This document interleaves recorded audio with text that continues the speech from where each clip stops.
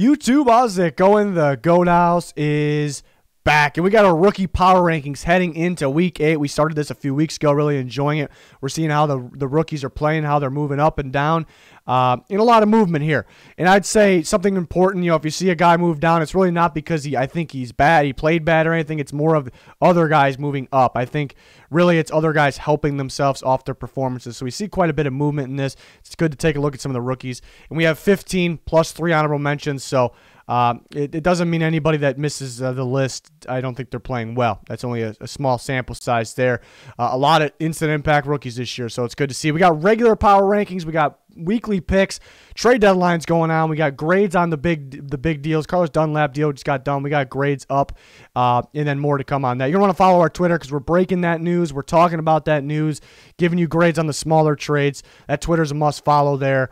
Uh, Instagram, podcast, Patreon. We're trying to reach 60k subscriber goal. Please help us get there. Be much appreciated. I mentioned that Patreon, which is a link down below. Um, a bunch of extra content. Junior's got his score predictions. Uh, he's been doing very well this year. Uh, my bets of the week for NFL and college, along with college football score predictions. Uh, college football is in full effect pretty much now. Uh, we're still waiting on the Pac 12, though. Updated playoff predictions, updated every single week. Bonus content, Discord access, a lot more. The rookie power rankings, we got a new entry here. Antonio Gibson makes his way in on the list. He's been playing pretty well, um, but after last week's game against the Cowboys, a dominant performance definitely gets him on the list at 15. We see the next three guys that just missed the cut. Jonathan Taylor, who just had a bye week. Tee Higgins, who's very nearly getting on this list. He's really starting to pick it up over 400 yards. And Mekhi Becton, who's been dominant run blocking. Um, pass protection's been pretty solid too but uh, a little inconsistent there. The run blocking performances have been absolutely dominant, but it's exactly what we expected. That was exactly the pre-draft evaluation from us here. Um, so it's good to see it. Antonio Gibson, though, number 15, making his way on the list. Love to see it. Number 14, Michael Onwenu. Uh, he's been playing fantastic, kind of a surprise guy. The Patriots' offense line is starting to play a little worse here, but it's, it's he's might be the strong part of that group right now. Uh, but he's down two spots mainly because other guys kind of had to move up because they had very good performances. So if you see a guy move down, I'm not. It's not because I think they had a bad performance. It's other guys just having that impressive of, uh, of a performance there. Uh, 13, Chase Claypool. Not much action. The Titans couldn't really stop the Steelers, but they for some reason they stopped Chase Claypool. Uh, they did a really good job on him. He actually had negative yards, uh, but still, he's definitely a guy on the rise. Fantastic player, a mismatch problem. Um, and yeah, he's a really key factor for them. So I expect him to rise back up, but he's down three spots to number 13 heading into week eight. Uh, number 12 is Julian Blackmon. He's been fantastic. You know, moved down just because somebody moved up and he didn't play this week. So somebody else kind of just helped themselves a little more. But he's been fantastic. Those Utah DBs have been really good, uh, you know, in the NFL, even in year one. Uh, Chase Young up three spots. Yeah, he missed um, some time this year, but then is really productive. Even when he when he doesn't get the sacks, he's getting the pressure, forcing turnovers that really won't come up on the stat sheet. So he's another guy that's I, I expect him just to continue to climb uh, and just continue to go up to the top here as the year goes on. And here here's a good start here, up three spots to number eleven. Uh, 10, James Robinson had a really big day. One of the better, I'd say, the second best rookie running back. That's an undrafted guy. He's been fantastic. I'm impressed with really him in general, but the speed is kind of what's impressive. I think he added more speed to his game, which is hard to do. Very impressive. Um, just all over the place. A key piece that Jacksonville Jaguars uh, offense there. So he's up a solid three spots there. That's pretty impressive. Number nine, Jaylon Johnson. He's kind of been sticking around this nine spot for some time. He's been uh, easily the best rookie corner this year. Another Utah guy. Um, helps that he's with a really good defense. But yeah, sticky in coverage, very physical. He knows how to be physical without, you know, drawing pass interference, which is fantastic. Almost like a veteran uh, knows how to do it. So, uh, yeah, he stays at number nine there. Uh, eight, Patrick Queen. Uh, yeah, down one spot. You know, he had a bye last week. Other guys just playing really well, moving up. Patrick Queen's definitely up for that Defensive Player of the Year award. He's been fantastic. A little inconsistent in coverage, but uh, really good, you know, rangy, and then really good on the blitz in that Martindale scheme, which is very important. See him go against the Steelers this week. Patrick Queen versus Chase Claypool, 8 versus 13. Maybe they won't go actually head to head, but uh, you get my point. Number seven, CeeDee Lamb was at one at one point.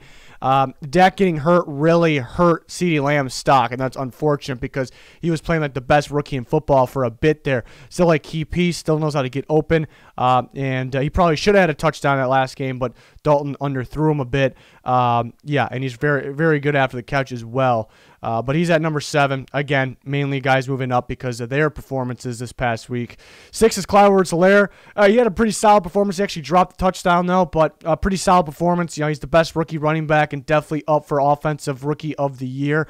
Um, yeah, just other guys just really helping themselves, and that's what gets them uh, into in you know towards the top here. But Edwards-Helaire is definitely one to watch to, to continue to climb and make his way up for the Offensive Rookie of the Year. There's a rookie year in general. Uh, number five is Antoine Winfield. He's going to stay put. He actually played a pretty good game. Um, and he got an interception as well off of Mike Edwards' tip. Um, so that was impressive. And yeah, it's tough not moving him up, but we got some other guys that really needed to boost up here. But Antoine Winfield, another guy that is definitely up for the Defensive Rookie of the Year. He's been absolutely fantastic playing everywhere, not just sticking at one spot in the defensive backfield there, doing so much for that defense. For Joe Burrow, uh, couldn't get the win, but you know, you wish if you would get that win because wins do matter for quarterbacks, and you could boost him a little more. But he does boost up two spots number four. Uh, fantastic outing, throwing for an insane amount of yards. Um, you know, I just wish he would have got the job job done there, but it's uh, it, it's more on the defense there. But he's up two spots. Um, yeah, just just a rookie being able to air it out like that so much with that offensive line. Keep in mind, uh, is very impressive. He's got a bright future, but that's not it's not surprising here. It's not surprising. Three is Justin Jefferson. He had a bye. Uh, he moved down one spot. It's just uh, uh, somebody was already ahead of them, and somebody had that good of a performance to move ahead of him. So that's more what, what it was. But he's been, uh, I mean, crazy impressive. You see the numbers compared to history, what he's done. He's ma- he's making history, and that's impressive. A guy that can play in the slot, play outside. Uh, the main thing about him is that he is very, very good at reading zone coverages, and that's what we're, we're all realizing here is those receivers are, are the best. They're the safest picks, they're the most pro ready picks in the first round. The guys that can get open against zone because they can read it, they understand defenses. And that is kind of what's going unnoticed. People realize his, his hands, his footwork, which are great, or as he would say, feet work, um, and then the run after catch. But what goes unnoticed is his ability to read zone coverages and find the open open uh, gaps in those. You know, it's easier to beat man coverage for receivers than it is to beat zone. Uh, and I think that's kind of the main reason some guys just don't work out the next level level.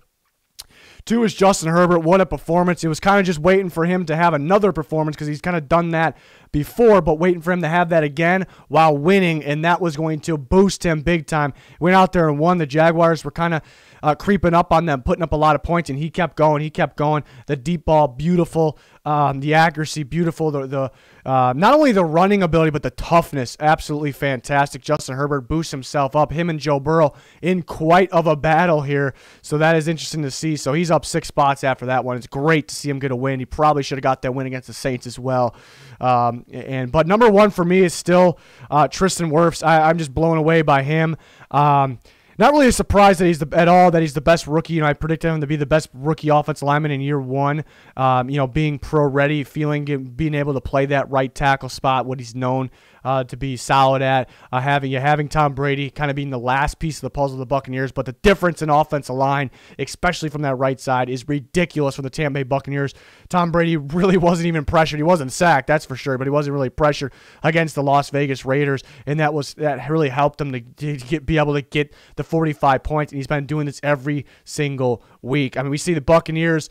Um, the Buccaneers, I just realized that now they have the top offensive guy, which since he's an offensive lineman, he's probably not going to win Offensive Rookie of the Year. They have the top defensive guy. The Buccaneers had themselves a hell of an offseason in general, but looking at the draft, uh, you could see uh, in a video like this. So that's very impressive there. But really looking for that quarterback battle, um, the receiver battle between Jefferson and CeeDee Lamb. But then you could see uh, guys like Chase Claypool and Tee Higgins are sneaking up. There's a couple other guys. The receiver class is so stacked. We knew that, though. The running back battle between Edwards-Helaire, uh, James Robinson, Antonio Gibson, Jonathan Taylor, guys like that. Super impressive. Offensive line, there's a couple good offensive linemen, but Tristan Wirfs is kind of leading the way there.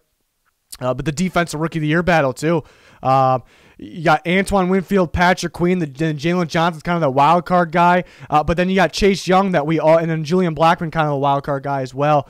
But then you got uh, Chase Young that we know is going to soar to the top and try to beat those guys out, and he's very capable. So, uh, a lot to watch out for every single week, and we'll be back with this video every single week. We got you covered. Again, uh, the actual power rankings with the 32 teams every single week. Uh, playoff predictions uh, will be coming halfway through the season, but uh, so after this week. But uh, Patreon people get those, Patreon members get those every single week. a lot going on here uh, on the channel uh, and, uh, and even off with those links in the description that you can check out. Trade deadline coming up. Can't wait for that. We'll have you covered. But that's to do it. Please smash the like button, subscribe, turn notifications on. Thanks for watching. Goodbye.